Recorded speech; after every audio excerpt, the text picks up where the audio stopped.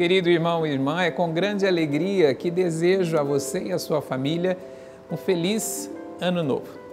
Que 2024 seja um ano repleto de realizações, que todos sejamos abençoados para o trabalho, para as nossas vivências, para o cumprimento dos nossos compromissos e também das nossas promessas. Pedimos a Deus a bênção necessária para perseverarmos diante de todos os obstáculos e adversidades que viemos a enfrentar.